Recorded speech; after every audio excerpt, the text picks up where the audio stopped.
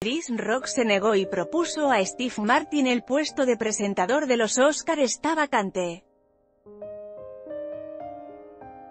Foto, Scott Olson, Getty Images Quedan dos meses escasos para que se celebre una nueva edición de la ceremonia de entrega de los premios Oscar. De momento, la Academia no se ha hecho aún con los servicios de un maestro de ceremonias que conduzca la gala y amenis la velada más importante del año para la industria de, en la que se darán cita buena parte de las personalidades más rutilantes del celuloide, así como numerosas estrellas emergentes.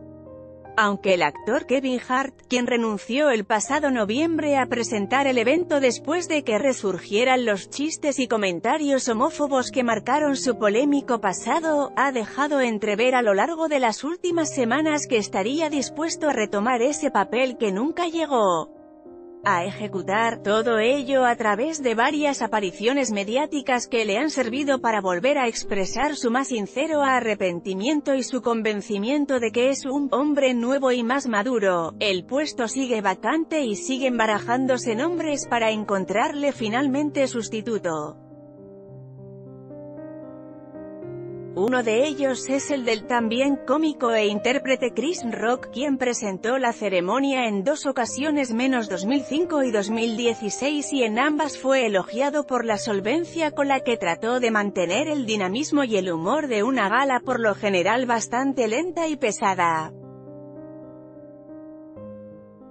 Sin embargo, este candidato ya se ha encargado personalmente de desmontar cualquier teoría al respecto descartándose automáticamente como posible nuevo presentador de los Oscar. Me niego a hacer eso a mí, esta vez no me van a pillar, bromeó el excéntrico artista a su paso por la cena de premiados de Círculo de Críticos de Nueva York, la cual tuvo lugar esta semana en el exclusivo Tao Downtown de Manhattan. Segundos después, y al avistar a su buen amigo Steve Martin, quien ejerció como maestro de ceremonias en tres ocasiones la más reciente de ellas en 2010, junto a Alex Baldwin, él artista no dudó en proponerle a él para que tomara una vez más el mando de la ceremonia. Steve Martin, debería ser tú el que presente los Oscar, le espetó.